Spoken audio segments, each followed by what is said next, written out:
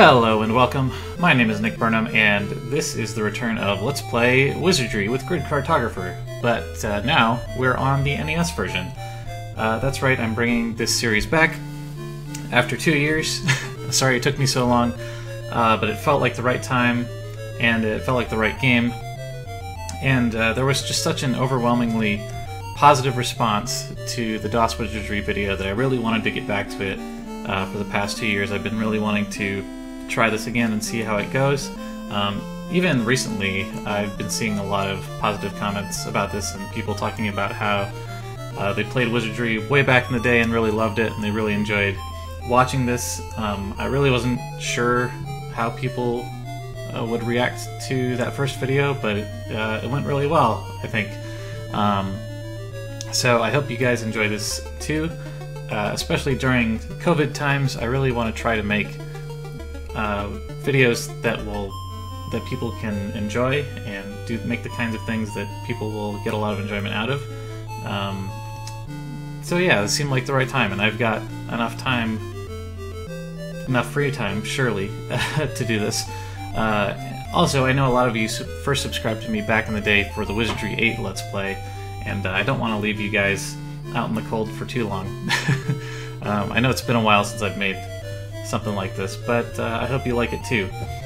Um, also, I played a few hours of this video, or of this game, really recently, and uh, it actually went pretty well. I think it's easier than the DOS version. It's still really hard, um, but I think it's going to be suitable enough for videos. I don't know, we'll see. Um, I've made it to, like, technically I've made it to the fourth floor, although I haven't made much progress there. Uh, I recently got to the third floor where there's an elevator, and we'll kind of get into that. Um, I've definitely lost a few parties in the dungeon already, but I think we'll be able to get through this with some amount of grinding at the very least. Uh, so I hope you all enjoy this uh, look again at wizardry in a slightly different lens. Uh, the video formats are mostly going to be a long form, like I usually do.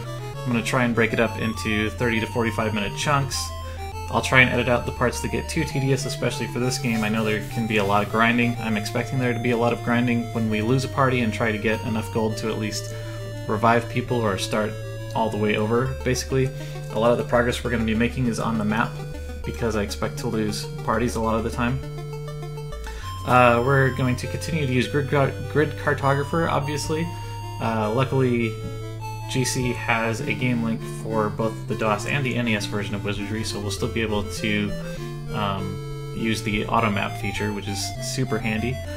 Um, gonna try and keep the tone of the video still mostly formal and talk about the design of the game and analyze things that we're finding in the level design. I always like to talk about that, um, but try and keep I'll try and keep them pretty lighthearted too. So hopefully there's a good mix of like humor and insights in these videos. I hope you like that and I'm gonna try and release them uh, every week. I might have to skip a week here and there due to stuff that comes up, or just because I need a break. Uh, during COVID times, who knows what's gonna happen right in 2020? Everything's crazy, so I'm not promising a perfect schedule, but I'm gonna try and release these once a week for sure. And another disclaimer I would like to make is that I will make mistakes. I'm not an expert at this game by any means. I've never beaten it before, and this is a notoriously really hard old old game. Um, and I just ask that you be kind in your comments and thoughtful. Uh, one of the worst parts of the Wizardry 8 Let's Play is that I'd get people telling me what I did wrong in a not nice way, and that was my least favorite part of doing those videos. Um, but I always love having getting like thoughtful uh, feedback, and I really appreciate that. So I just ask that you keep any of your comments kind and thoughtful, and then we'll get along great. Um, I also want to talk a little bit about the history of this version of the game. It was released in 1990, which was 10 years after the original, so uh, Wizardry had been around for quite a while, uh, even back in 1990.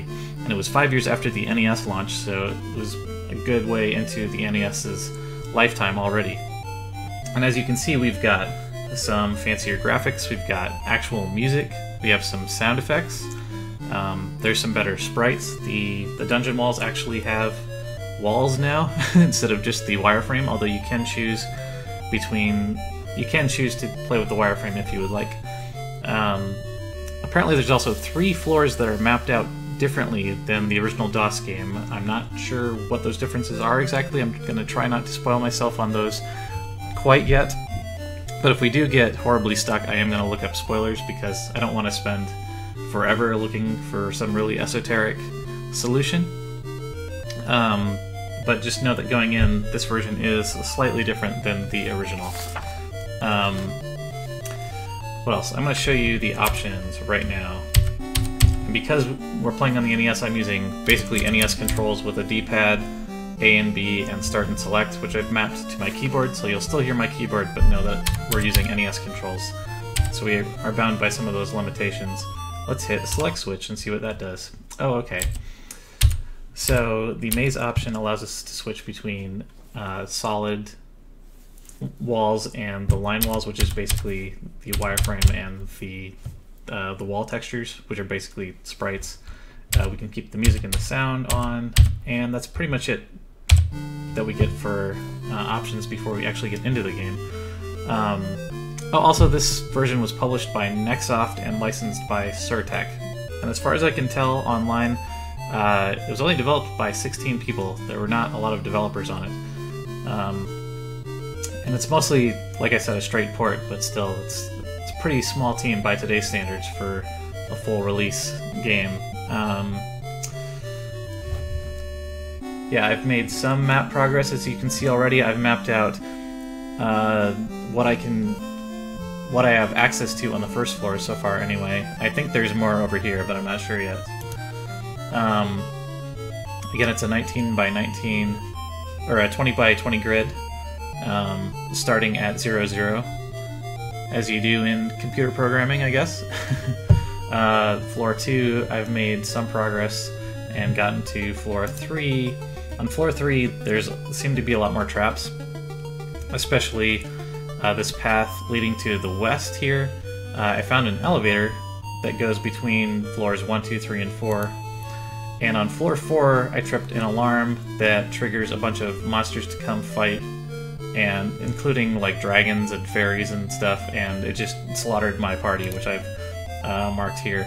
So I'm going to attempt to try to get back there, but uh, no promises there. Either we're probably just going to have to grind up a new party to try and make more progress on floor 3 and avoid this kind of death trap hallway, which I think is just meant to loop you here and then kill your first party. Like the first the first two floors are not really bad at all difficulty wise, as long as you roll some decent stats. Uh, so, yeah, without further ado, let's actually get into the game here. Uh, and all of the shop, or all of the um, castle areas have music too. And I just want to transition over to one thing. Uh, so I'm going to show you guys the NES manual as we're going through too, because it has some awesome artwork, and uh, it's a little bit better laid out than like the DOS version manual was.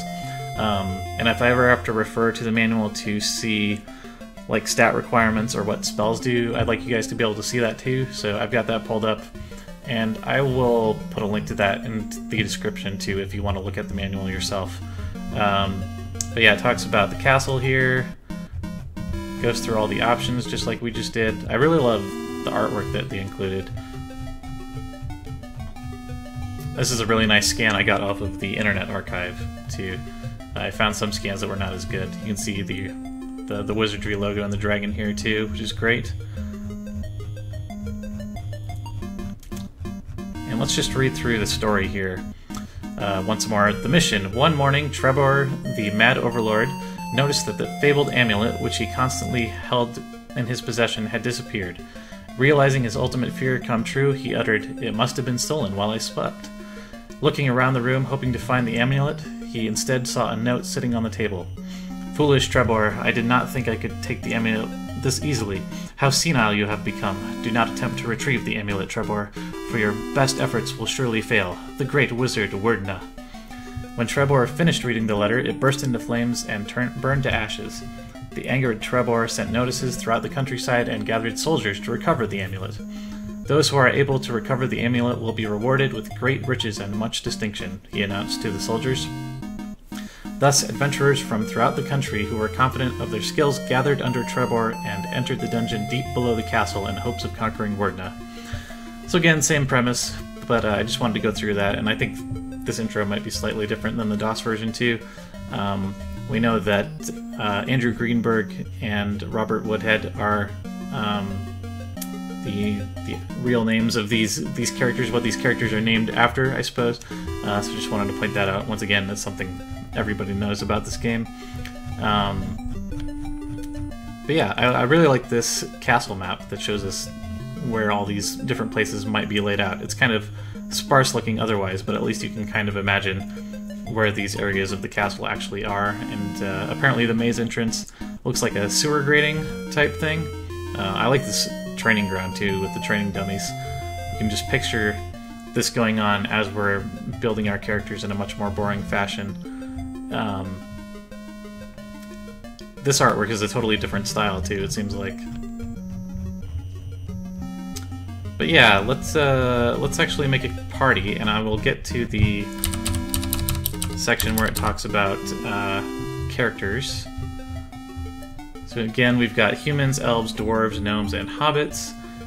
Uh, that can be good, neutral, and evil. Alignment doesn't affect too much, except that um, some classes have to be of a certain alignment, or can only be two alignments instead of all three. And the alignment you choose for your characters must be compatible with the class. Um,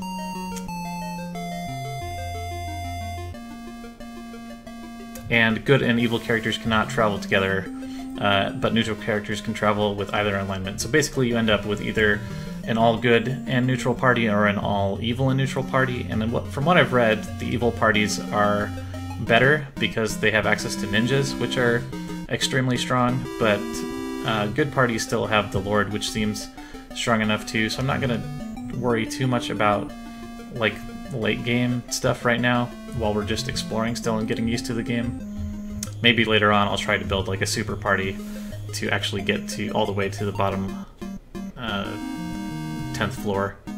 And again, there's 10 floors in this game, just like in the DOS version. Go through the stats again, which you can kind of guess uh, what they do. Uh, we've got the same classes, Fighter, Mage, Cleric, Thief, Wizard, Samurai, Lord, Ninja, and uh, then it goes through more of what the stats actually do. So let's actually build a new party here, and I'll switch back over to the grid view. I'm gonna have to remember to hit my switch button now that I've, I've got that other screen, but I think that's gonna help a lot with this Let's Play too, so uh, it's a little bit less tedious if you guys can actually see what I'm talking about. Um, so yeah, let's actually go to the training grounds and create a new party. Uh, you can see I have quite a few dead or out characters already, and there's only 20 slots for characters in this game. I think that's the same in the DOS version too, or maybe you actually get less, I'm not sure.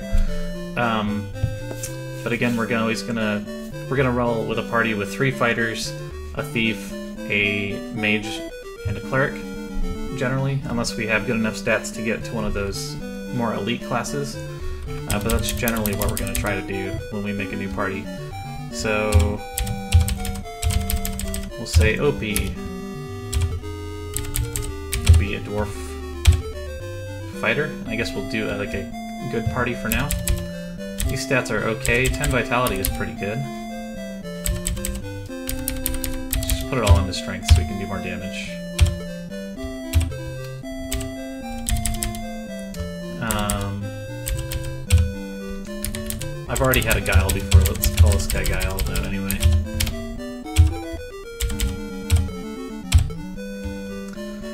Some little better stats here.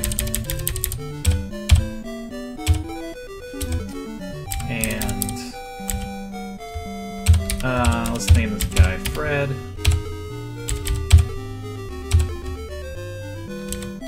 Even slightly better stats, looks like. And then we need a thief, who we will name Garrett, because I've been playing a lot of Thief 2 recently. And thieves. Hobbits make good thieves. Uh, thieves have to be neutral, though. Evil, I believe. They cannot be good. So, these stats are not great. He does have high luck, though. Uh, thieves are pretty notoriously terrible in this game. Um, let's just make a Merlin for the mage. Easy to remember that way. Okay. Oh, that's right. I think gnomes are actually better at being clerics. So let's actually do piety. We'll have a, a Merlin gnome who might turn into a wizard later. um, I'm not going to waste points on IQ right now. I do want them to have a good amount of hit points, though. And now we actually need a mage, so let's do... Let's name him Wrath. Or Wreath, I guess. I'm not going to worry too much about this. Uh, I think it's elves that could be mages? Yeah. They also make good wizards, because they have high IQ and piety. I want him to have a good amount of hit points. We could go for a wizard right off the bat. It seems kind of foolish, though. I tried it once, and it seems like you're really limiting yourself, because while you do have access to both spellbooks, um, you don't get those high levels of spells as quickly, so we'll just roll with that. Now we've got our six. It's a little bit, it seems like it's a little bit faster to create a party in this game, which is nice. Or at least it's about the same. Okay, we've got our party, and then we have to go buy stuff and I may not always show this creation process, but I just wanted it, to show it again in the first video at the very least, because we always have to make a new party and we always have to take them to the shop to buy gear, unfortunately. I wish they would just start out decked up, uh, decked out already, but alas they do not. Um, this guy started with a lot, though, so we can afford the chainmail. At least it auto-selects to the next character after we're done with one. And we get to listen to the, the fun shop music, you know? I also have not played too much when I'm talking at the same time, so I may make some mistakes, but I think I have a, a good grasp on the game now. Or at least the basics. I'm gonna buy a small shield just so we can buy the chainmail. Uh, the book advises if you ever have gold left over, you should use it to buy helms for your fighters when you're just starting out. Uh, the thief can use... Uh, there's also a nice indicator on the right there with the hash symbol. That's indicating that a class cannot use those items, so that's nice to know. You can get a small shield for the thief, and some leather armor.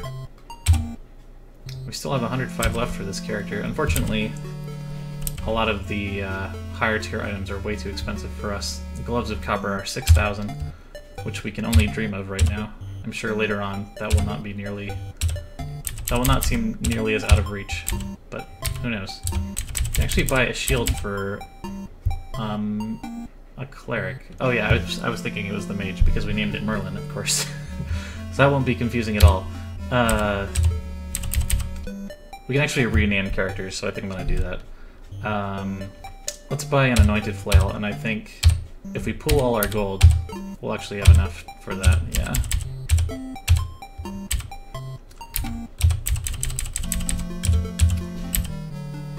And might as well buy chainmail for him too. And then we have to pool our gold again.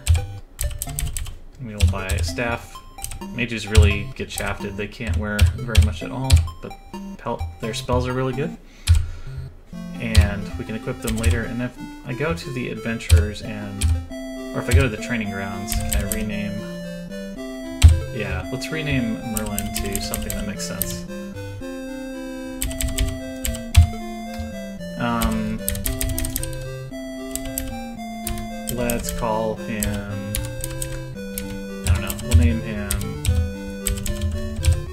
Claw is the cleric.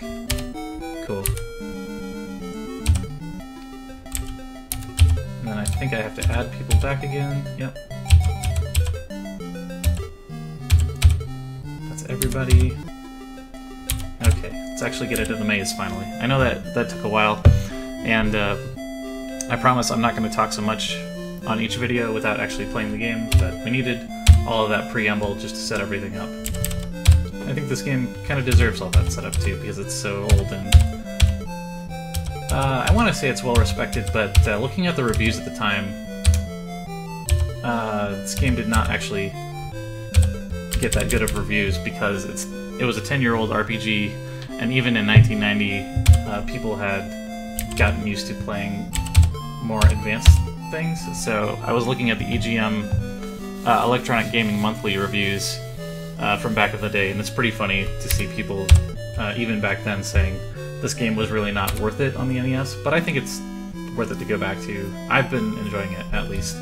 Um, you just need to have a lot of patience. So yeah, this is what the dungeon looks like now. We've got these nice uh, sprite textured walls here, so we can actually, so the walls actually look like walls.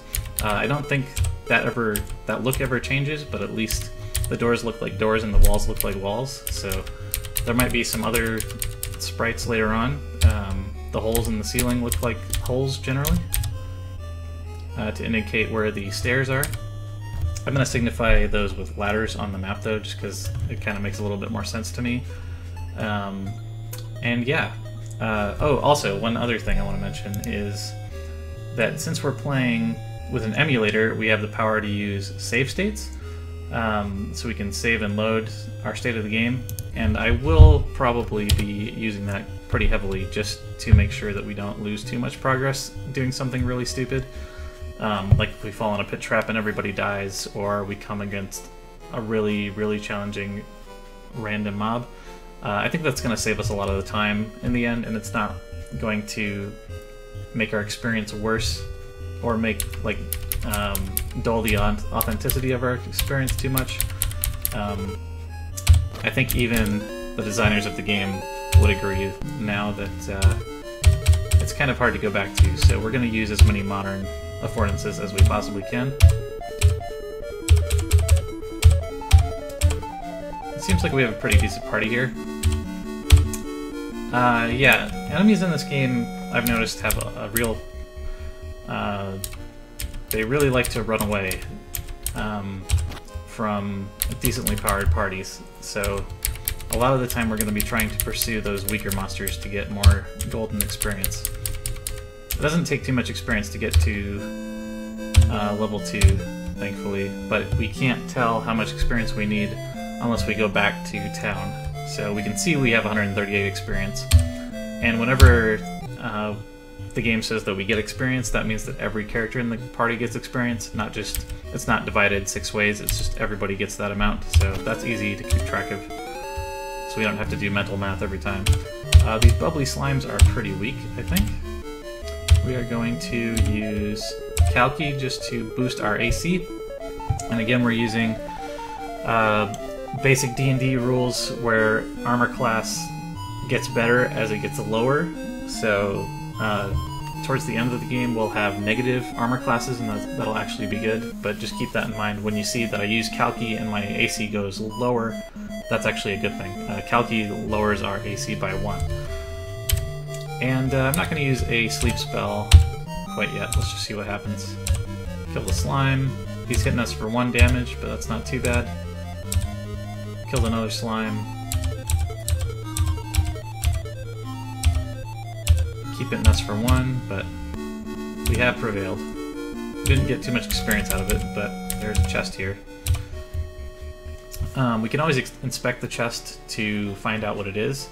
Um, and in my experience before, the level 1 thief was not very good at disarming things, but the level 2 thief was a lot better. So I think I'm going to leave this alone, just in case.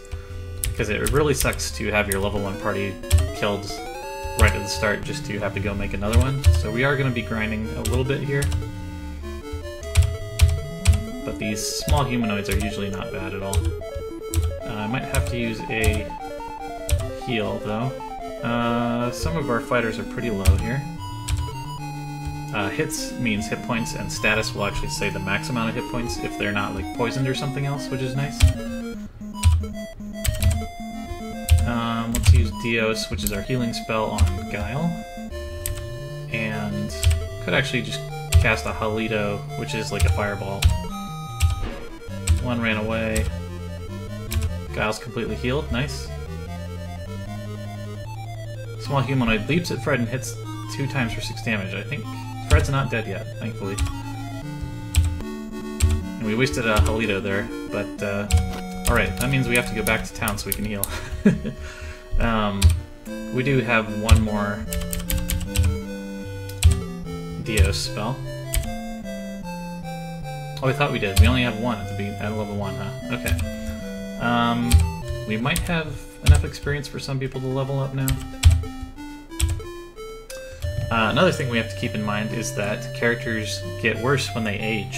Um, they, their stats go down, or some of their stats go down and some go up. I think. I'm not entirely clear on how that works, but that's why um, 10 GP per 10 GP to fully rest is really good to get back a hit point, but it takes an entire week for that. So that's why it's sometimes better to pay more money for uh, per week because a you can get a few more hit points back, but b it takes less time uh, in-game time, so your characters will be younger overall. So that's something we have to keep in mind too. But if we just want to check how much experience we have, we can go to the stables. 628. Okay. And how much gold do we have? Let's pull it. Probably don't have a ton. Okay, that's gonna be enough, I think. Um, just try and just get back to full. So there we spent like like 10 weeks just resting, so. Um, Guile is at full, and then Fred we have to get back up to full. Fighters still need 628. How about the other characters? 528, 678 and 728. So as you can see, each class requires a different amount of experience to level up. Um, so we need to go through a few more fights to actually get to level 2.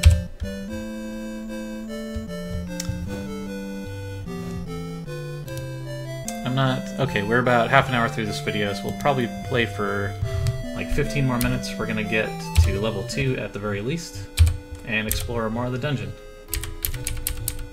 So yeah, these this beginning floor, level 1, really does not have much on it, but there is a key up in the top right that we can go grab. Silver key, which I'm still not sure what we can use it on. But most of the, the floor 1 encounters are not too bad.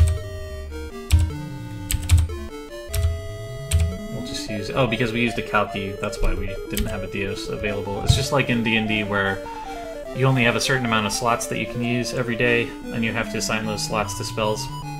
Luckily in Wizardry, we don't have to worry about which spells we want to prepare, they're just all prepared every day, and then we just pick which ones we want to use. Um, which is like, uh, if you play D&D, it's like the 5th edition Cleric, works the same way. Uh, we're taking some damage. Killed a couple.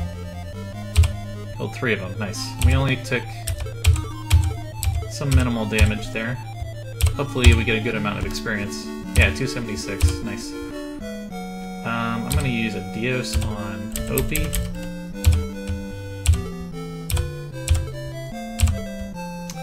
Wow, our cleric must be really good, because he's getting really good rolls on the um, heal points. How much piety does Quaz have again? Uh, 14. So maybe we're just getting really good rolls. But uh, yeah, it's a it's a random amount of HP that you get back. Orc flees, orc misses, orc flees, orc flees. Okay. Kill the orc. Nice. Yeah, overall, I think this game feels easier than the DOS version anyway. Seems like I'm getting through it easier at the very least. Uh, we don't have a spell. Let's use a Halito. Actually, let's use a Katino. Since there's four of them.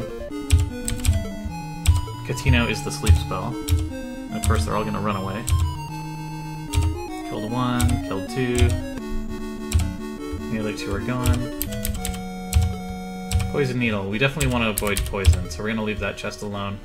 Um, you can cure poison if you get back to town in time, but poison does one damage per tile that you step on, just like in uh, Pokemon. so uh, if you get if a low level character gets poisoned, it's pretty much a death sentence. Um, and there's also secret doors in this game, uh, which seems obvious, but one thing I didn't know is that sometimes the doors move, and it doesn't mean they're gone. It just means that the sprite is gone.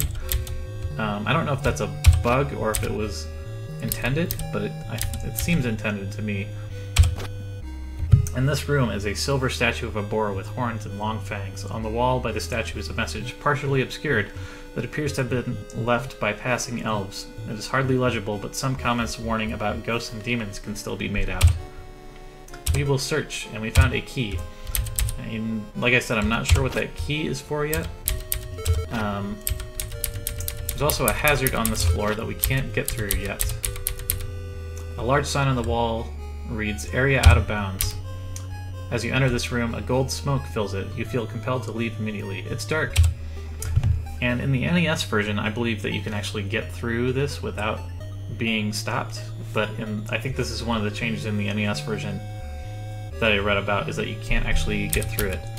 Um, I think we need a gold key to get through here, which seems a little weird that you would need a key to get through smoke, but that's just old video game logic. So we're gonna have to try and find a gold key somewhere. And I don't think I found that on the second floor yet either. We're not gonna go down yet because I want to level up first.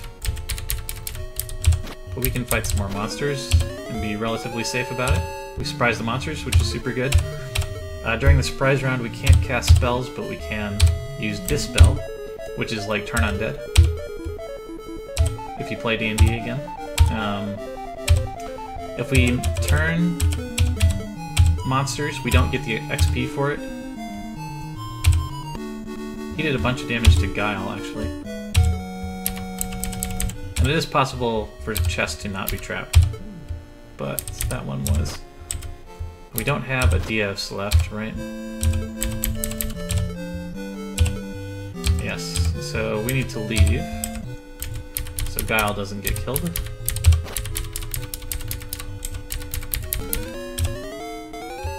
We might run from these guys. Yeah. If we had surprised them, then I would fight them, but... A friendly group. Yeah, it's, it's also possible for monsters to be friendly when you find them, so... That can be nice. Um, I've also noticed it's pretty predictable for monsters to be behind doors. I think that was in the DOS version too, but uh, generally we can assume that when we go through a door we're gonna have an encounter, or at least we have to assume that that's what's gonna happen. So, uh, let's go to the inn and have Guile rest. And we'll pool our gold. He's really close to leveling up, thankfully. And we want our cleric... Oop, I gotta switch the other character. We want our cleric to rest to get his spells back.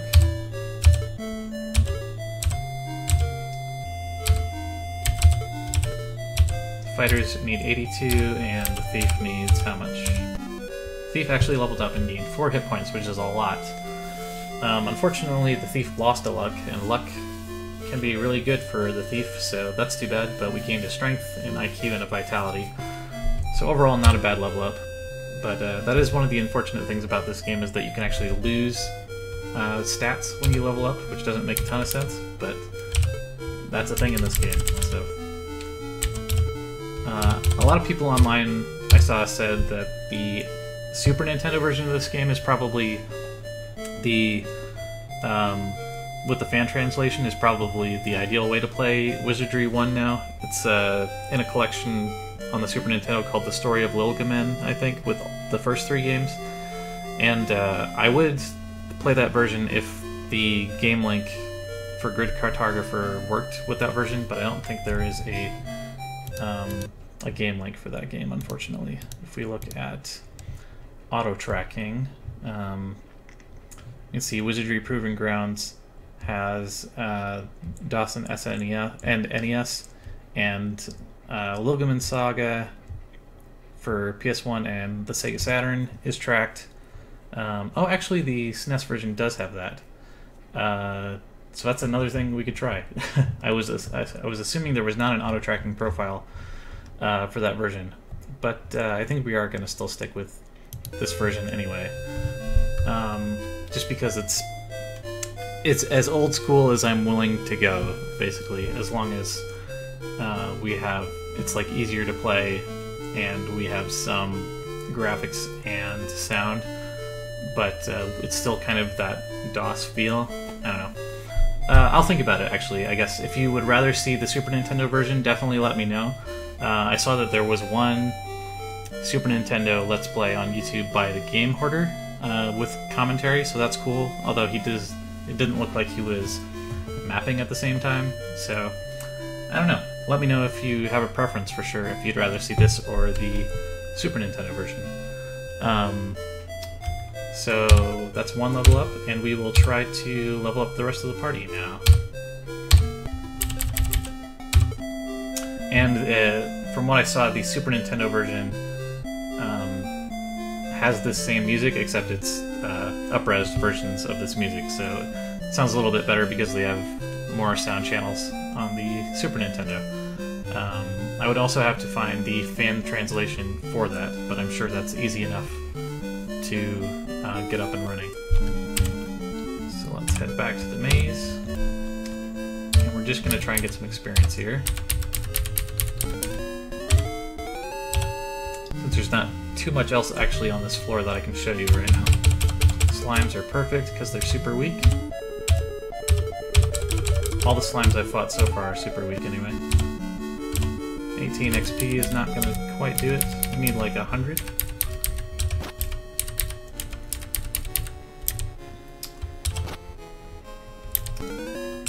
Like some of these these areas are surprisingly sparse. There's really not much else to do but fight monsters. Which I guess makes sense for a first floor if you're trying to teach the player how this game is going to work. You don't want to like put pit traps everywhere on the first floor, but I wasn't really sure what I was expecting. Just not so much like empty space, I guess. Um, we can search if we hit shift Oh, this is another menu. If you hit select, this menu comes up, and if you quit out of the game, it actually exits the game, and it keeps your party in this part of the dungeon, and then you can, if you restart the game and go to uh, the training grounds or the, the, outpost, one of those buildings, if you start an out, restart an out party, uh, it puts you back in the dungeon with this party, um, which is a feature that like Etrian Odyssey uh, lets you do as well. So I thought that was kind of cool. Um, we can also set the time delay, I think, is what that is, uh, for text.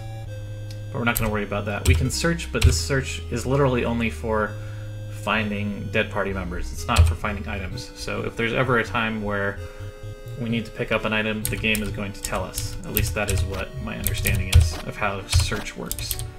So even though it said who's going to search to find the key? We can't actually search manually um, to find items. And that's good because if we were allowed to do that, I would probably search on every tile. So uh, it's good that we're not allowed to do that, I think. I think we can take the Scruffy Man, uh, hopefully. Let's cast a Sleep for sure. Five damage. Two are asleep. 7 damage. 9... It's a Scruffy Man for 9 damage. Killed one. Okay, we have to be really careful. I think we can do it, though. The thief is going to continue to not help at all. It's the bad part of about having thieves, is they, they're really not good for anything else. Um, we will cast a Halito. Good, so Fred's not dying anymore. He did get hit. Wow, look at all that experience. Okay. I'll very carefully try and get out of here. Oops. I went to the wrong area. Um, let's run, because I just want to level up. I know we need to take those early fights when we can get them, but I don't want to lose Fred for sure if we don't have a Dios to cast. So we can level up again. And this is this is how the flow of this game is going to go, pretty much. This is the gameplay, so I hope you're uh, ready for that.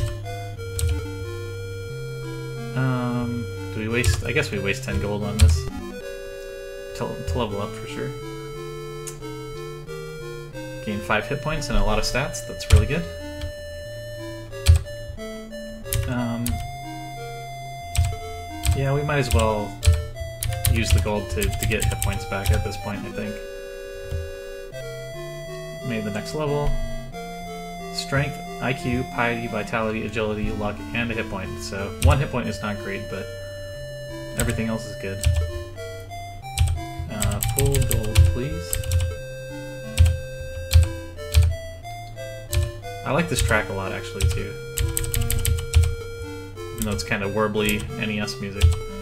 Let's actually pay 50 uh, so we don't waste as much time. Gain a level, gain IQ, piety, lost vitality. And only one hit point, unfortunately. Um, another number to remember is that we need 250 gold to resurrect somebody from the Temple of Cant. We can't actually go there because nobody's dead or poisoned or anything.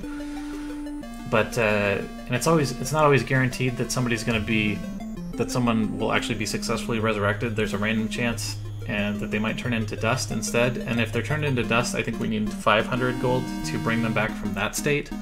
So we could end up paying 750 gold just to bring one character back, which is not really worth it for these low levels. Um, but for later parties, if we end up getting like a level 10 party or something, then we're probably going to want to save up the gold just to bring back a character if we possibly can get them out of the dungeon. Um, it's really hard to get characters back in this game, it seems like. But as long as we grind enough and are careful enough, I think we're going to do okay. We'll cross our fingers. Um, did we level up everybody? Let me just check. The thief already leveled up, right?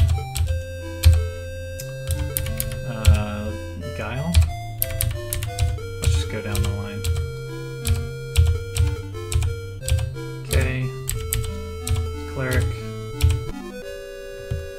Made the next level, you learn new spells.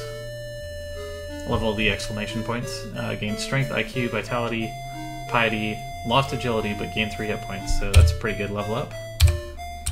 And the mage got new spells, strength, piety, vitality, agility, lost luck, and gain a hit point. So 5 hit points on the mage is not great, but if we play our cards right, they're never going to get hit unless we drop down a pit, which uh, can be pretty devastating. So hopefully the mage will get some more hit points soon in next levels, but I think I'm going to end the video here and hit save, and um, we're also going to, uh, if we quit out, uh, it should save our party here too, uh, and then you can you can either switch off and remember to hit the reset switch when you're turning off your Nintendo, or hit A for more wizardry.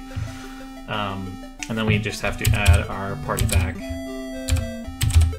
um, at the tavern. And you can see they're all here. So, easy enough. Um, yeah, so I'm just gonna end the video there. Thank you so much for watching. Um, thanks again for all your encouraging comments recently on that DOS Wizardry video. It really means a lot to me. Uh, if you've made it this far, you can follow me on Twitter at ncburnham uh, for more updates. And uh, I've also been streaming on Twitch recently at Nostalgic One every weekday from 5:30 to 7:30 p.m. Mountain Standard Time. I'll put links to that stuff in the description, and uh, I'm really excited to see how this series goes and what you guys think of it. So I will see you in the next video. Bye.